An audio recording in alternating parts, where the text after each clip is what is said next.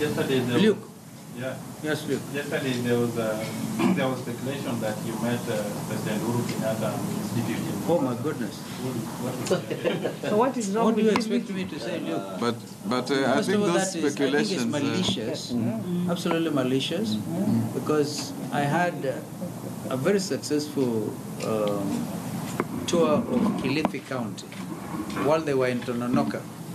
And in fact, I saw some clips that were actually saying uh, the duo was in Tononoka and we were in Malindi. Uh, we, we, we think that uh, this, this negative spirits need to be condemned by the lovers of unity of purpose and NASA. So I hope that you're not their agent.